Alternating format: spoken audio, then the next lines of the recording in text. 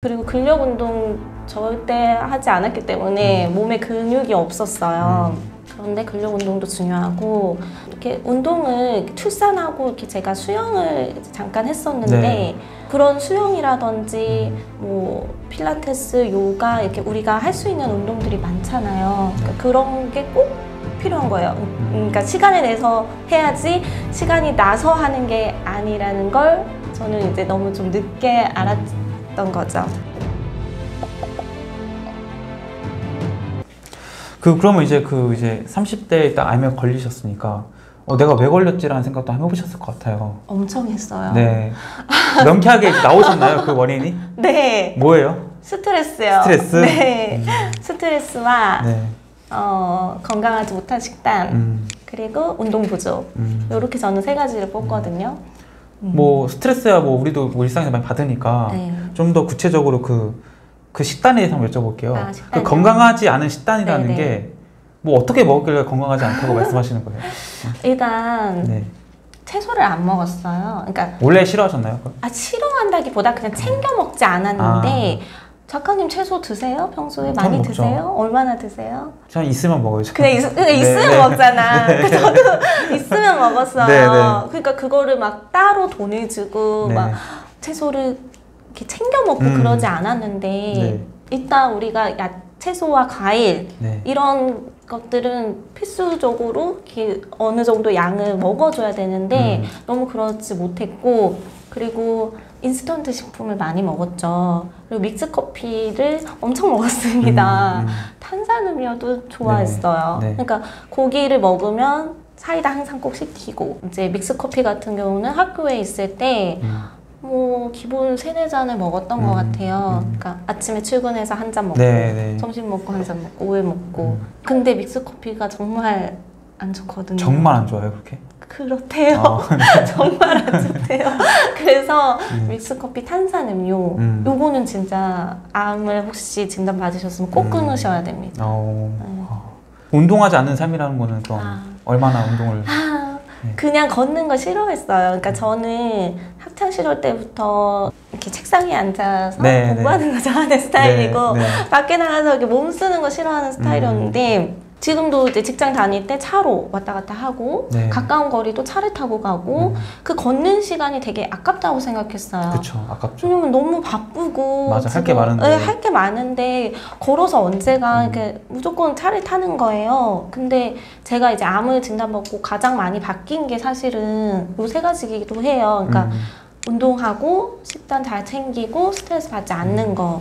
이것만으로도 건강한 삶을 유지할 수 있다고 민- 생각하거든요. 네.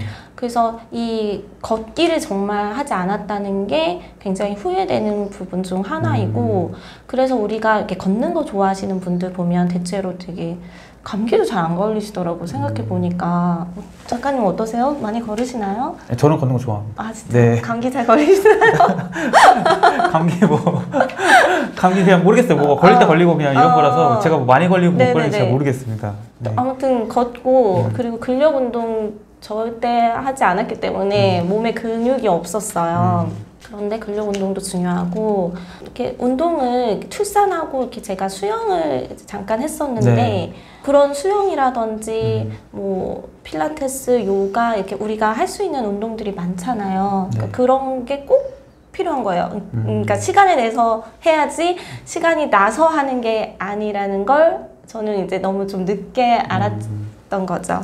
음. 그러니까 이제 건강하지 않은 식단은 이제 채소를 잘 많이 안 먹고 미스커피 마시는 거 그리고 탄산. 좀 단순하게 얘기를 하면 예, 당, 그러니까 당이 많은 음. 들어가는 거잖아요. 네. 근데 어, 암 환자에게 당이 또 그렇게 음.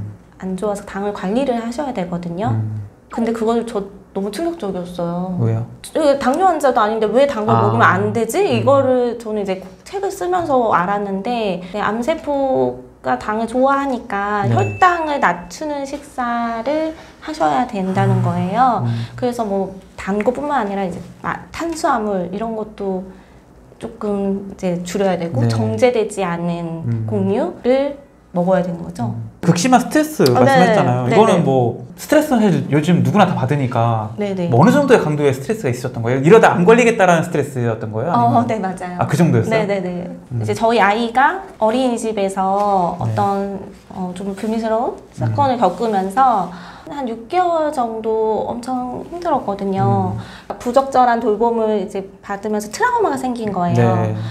어, 그리고 이제 그때가 한 두 돌 막 지났을 때여서 네. 말도 잘 통하지 않는 상황이었기 음. 때문에 좀 정상적인 생활이 안 될 정도로 이렇게 아이에게 이렇게 예민한 부분들이 있었고 네. 그런 부분들로 이제 저도 마음이 많이 힘들었던 상황이어서 음. 그런데 이제 복직을 하면서 이대로 이제 이렇게 살아도 음. 되나 막 싶을 정도로 좀 힘들었. 음. 했었거든요. 근데 그때 딱 이제 암이 찾아온 거죠. 음. 실제로 좀 암 하는 분들하고 얘기를 많이 하다 보면 네. 진단받았을 무렵에 어떤 다양한 이유로 음. 그 스트레스를 굉장히 많이 받은 상황이셨더라고요. 근데 음. 물론 뭐 모든 분들이 그런 건 아니지만 네. 간혹 이- 뭐 운동도 잘하고 식단도 잘 챙겼고 네. 난 스트레스도 별로 안 받았는데 암이 걸리신 분도 있어요. 음. 근데 이제 제가 얘기하는 건 이제 대다수의 경우 그렇다. 또 음. 저의 경우는 그랬다. 이런 말씀이고요. 그래서 작가님이 생각하시기에는 이제 본인의 암의 3대 원인은 스트레스와 식단과 운동 부족이었다. 네네. 이 삼박자가 딱 맞아 떨어지면서 그렇죠. 네. 암이 발병됐다라는 네네. 말씀이시죠? 네. 암을 이제 나 이제 암 걸렸어 이제 뭐 카톡이든 뭐 주변에도 알리셨을 거 아니에요. 네. 그랬을 때 좀 주변 사람들이 반응들이 있었을 거 아니에요. 아, 네네. 가장 기억나는 반응 뭐 있으세요? 어, 이게 좀 이게 참 위로가 됐다. 그 친한 언니가 있었는데 음. 저한테 막 전복 이런 거를 그러니까 몸보신 하라고 아, 네, 몸에 네. 좋은 거를 막 보내주고 계속 음, 그리고 또 어떤 분은 몸에 좋은 거 뭐 사 먹으라고 이제 용돈도 보내주시고 네. 물론 이제 말도 되게 위로가 되지만 네. 아 그래도 이 사람이 나를 이렇게까지 음, 좀 소중하게 생각해 준다는 거에 감동 받았던 것 같아요. 음. 이제 주변에서 도 이런 질문을 많이 하거든요. 일반인 분들이 네. 아, 암 환자한테 어떻게 위로를 해줘야 그쵸. 될지 모르겠다. 네. 근데 사실은 또 굉장히 민감한 부분이기도 해요. 맞아요. 왜냐면 요새 뭐 유방암 별거 아니래. 그, 어, 나을 거야. 라고 말하면 그 말은 이제 음. 되게 상처를 많이 받거든요. 환자분들이. 왜냐면 이제 별거 아닌 암이 어디 있겠어요. 그쵸. 우리가 정말 자기 몸에 조금만 상처가 나도 그렇게 아픈데, 음. 어, 암 일단 수술해야 하고, 방사 치료나 뭐 항암 치료 이런 것들이 아무리 이제 착한 암이라고 하더라도 순한 암이라고 하더라도 그런 표현 자체도 굉장히 싫어하는 환자분들도 많으세요. 음. 그래서 어, 일단 유방암이 뭐 보편적인 치료가 이제 잘 되고 다른 암에 비해서 이제 그렇다는 거를 이렇게 강조해서 그런 식으로 말씀을 하시긴 하지만 음. 그런 표현은 환자분들한테 직접적으로 하면 좋지 않다. 음. 그건 얘기 드리고 싶네요. 차라리 말 한마디보다 보양식을 어, 보내주는 게 그렇죠. 훨씬 더 낫다는 말씀이시죠? 네, 그러니까 그 어떤 말을 해야 될지 모르겠을 땐 아, 차라리 음. 음, 뭐죽 한 그릇이라도 음, 음. 네, 주는 게 좋겠습니다. 그럼 이제 암 진단을 받았으면은 이제 뭐 병원을 가야 될 거 아니에요? 그 맘모톰 시술을 한 병원에서 유방암 치료를 받으신 건 아니죠? 아니 아니죠. 대학병원으로 가신 일단 거죠? 암을 네. 진단 받으면 무조건 대학병원으로 가야 되거든요. 무조건이에요? 일반 동네 local 병원에서 안 된다는 얘기이고 네. 물론 이제 대부분이 다 대학병원으로 가시죠. 음, 대학병원에 갔을 때 여러 가지 뭐 영상 자료라든지 뭐 엑스레이 자료 같은 것도 다 대학병원 의사한테 줬을 거 아니에요? 네네네. 그 다음에 이제 어떤 것들이 치료가 어떻게 이루어지는 건가요? 어, 일단 대학병원에 네. 가면 검사를 다시 해야 합니다. 심지어 어떤 대학병원은 다른 대학병원에서 그렇게 정밀 검사를 하고 와도 네. 자기네 병원에서 다시 특기하는 경우도 있어요. 음, 근데 보통은 이제 일반 병원에서 조직 검사를 하고 그 결과를 가지고 이제 대학병원에 가면 정밀 검사를 이제 다시 해요. 그래서 그 검사를 기다리는 그 기간이 또 엄청 고통스러워요. 보통 어- 며칠 기다려요? 일단 검사하는 것 자체도 시간이 걸려요. 아 그러니까, 검사일 잡는데도 어, 우리가 뭐 일반 병원 가서 네. 바로 검사해 주세요 이렇게 되는 게 아니라 한번 교수님 만나야 되고 그쵸. 그리고 그 교수님하고 이제 또 검사 날짜 음. 잡아야 되고 그 검사하고 그다음 조직 검사 결과 기다리고 네. 그렇게 하는데 이제 시- 또 시간이 걸리는데 몇 달이에요? 저- 몇 달? 예. 몇 달이 경- 걸리는 경우도 저는 봤는데 제 경우에는 꽤 그래도 좀 빠르게? 빠르게 진행이 됐었어요. 그럼 이제 그 기다리는 동안 이런 생각 들 것 같아요. 아닐 수도 있지 않을까.